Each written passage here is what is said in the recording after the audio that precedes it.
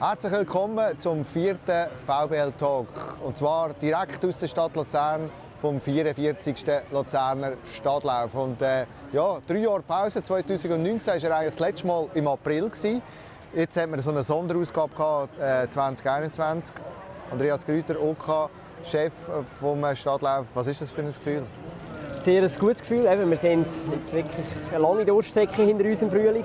Wir sind äh, ja, 2019 das letzte Mal unterwegs im Frühling. Seitdem haben wir äh, 2021 im September einen Stadtlauf gehabt. Es freut uns, man sieht auch, wie viele Leute da unterwegs sind wirklich eine super Stimmung und äh, es entschädigt für vieles, was wir äh, müssen durchmachen Eben durchmachen. Was haben wir so müssen durchmachen? Ich stelle mir vor, das sind drei schwierige Jahre für euch.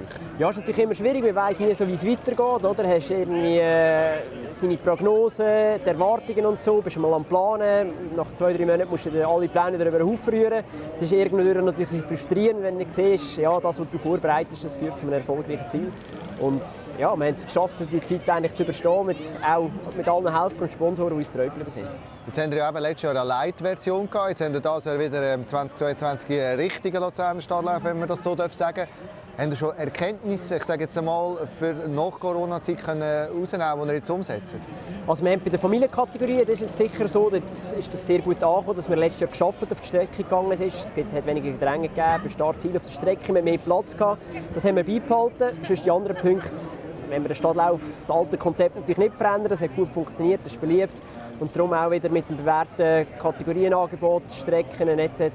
und auch das feste Rahmenprogramm wie früher kann ich also gerade das erste Feedback geben. Ich war mit der Tochter und mit der Frau. Gewesen. Es ist zwar äh, gerade der einzige Lauf, der verregnet worden ist, aber sonst ist es wirklich äh, perfekt.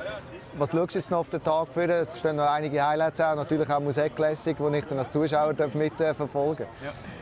Also klar, das Fest Stadtlauf geht natürlich immer noch weiter am Abend. Auch nach den Läufen haben wir in der Altstadt auf den verschiedenen Plätzen äh, Festwirtschaft, Musik, von dem lebt der Stadtlauf auch.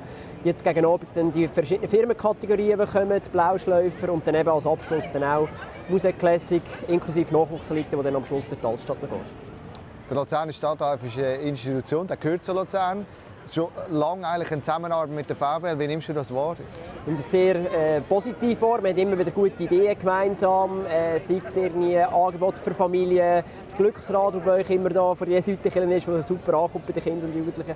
Also wir sind schon x Jahre Partner und wir hoffen, wir bleiben es auch noch x Jahre.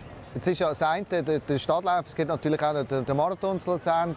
Alte Veranstaltungen haben jetzt so in den letzten Jahren so eigentlich damit geworben und man kann gratis mit dem ÖV anreisen. Wie wichtig ist das für so grosse Events?